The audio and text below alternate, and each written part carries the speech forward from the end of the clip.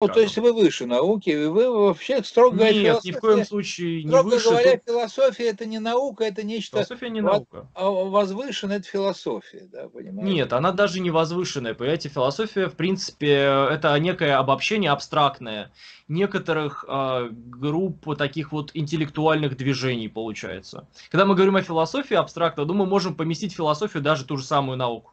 Вот просто вот нам вообще здесь, в принципе, без разницы. Потому что философия очень широкое определение. Мы описываем как философов колоссальное количество людей с разными взглядами, с разными методами. Вообще, вообще у них все разное. Они то мистики, то колдуны какие-нибудь, то там, не знаю, во что они только там не верили, какие методы не разрабатывали. Ну, то есть философ это, ну, это, это ничто, по сути. Это все и ничто. А, Философ вот. это который знает ничего ни о чем.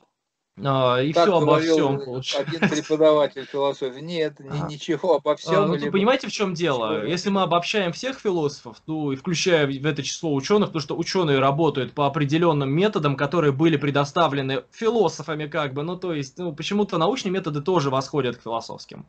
А, ну, вот тогда тоже надо включить и ученых туда, к сожалению, если логически мы поступаем. Оптом. Критерий, например, но философия его предоставила науке. Так